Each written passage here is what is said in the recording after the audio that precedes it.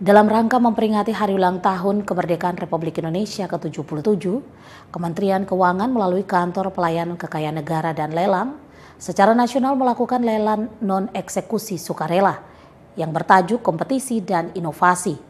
Kedai lelang UMKM 2022 dengan tema UMKM Bangkit Ekonomi Nasional pun Bangkit. Kegiatan lelang UMKM 2022 yang dilaksanakan di Aula Gedung Keuangan Negara Jayapura pada Kamis kemarin yang dibuka langsung oleh Kepala Perwakilan Kementerian Keuangan Provinsi Papua yang didampingi Kepala Kantor Wilayah Direktorat Jenderal Kekayaan Negara Papua, Papua Barat, Maluku, dan Kepala KPK NL Jayapura ditandai dengan pemukulan tifa.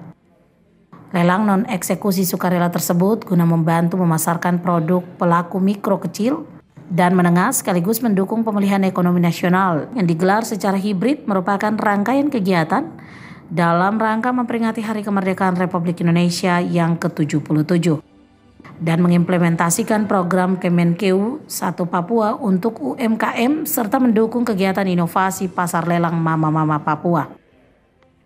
Dalam sambutannya, Kepala Perwakilan Kementerian Provinsi Papua Burhani mengatakan kegiatan tersebut yang bertujuan untuk membantu para pelaku UMKM yang selama ini terhimpit oleh kondisi perekonomian Indonesia yang terdampak pandemi COVID-19.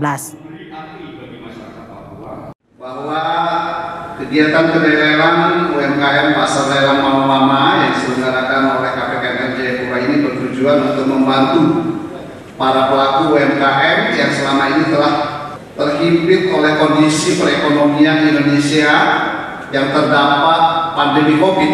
Tentu saja ini adalah salah satu bentuk strategi Kementerian Keuangan dalam rangka berperan aktif secara nyata berperan dalam rangka program pemulihan ekonomi nasional atau yang kita kenal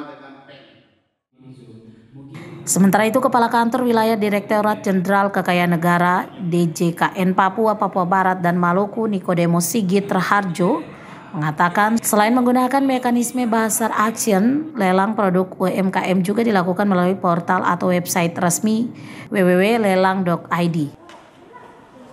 KPKN Jayapura juga melaksanakan kegiatan lelang produk UMKM melalui portal atau website resminya di www.lelang.go.id.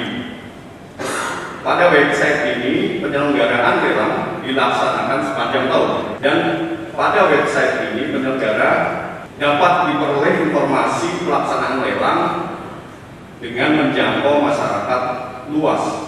Bahkan siapa pun di lintas negara mana pun dapat melakukan transaksi melalui website ini. Pihaknya berharap para pelaku UMKM tidak berhenti pada pelaksanaan lelang non-eksekusi sukarela, namun dapat memanfaatkan lelang online sebagai salah satu instrumen di masa mendatang. Sebagai informasi, pasar lelang mama-mama periode Agustus 2022 merupakan rangkaian awal dari lelang terjadwal khusus yang menggunakan sistem penawaran basar action atau basar lelang dengan kehadiran peserta lelang secara virtual melalui aplikasi Zoom Meeting. Dari kota Jayapura, Darul Mutakin News Jayapura melaporkan.